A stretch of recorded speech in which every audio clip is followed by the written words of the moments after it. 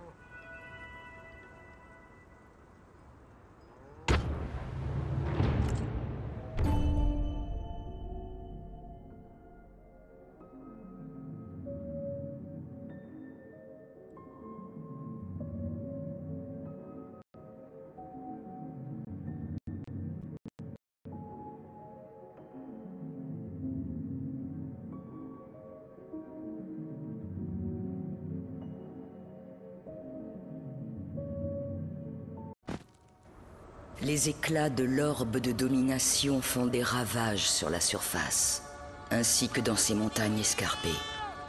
Des tempêtes mugissantes s'abattent sur le chemin menant au sommet, et tant que l'éclat ne sera pas détruit, les vents étoufferont la dernière étincelle d'espoir de ce monde.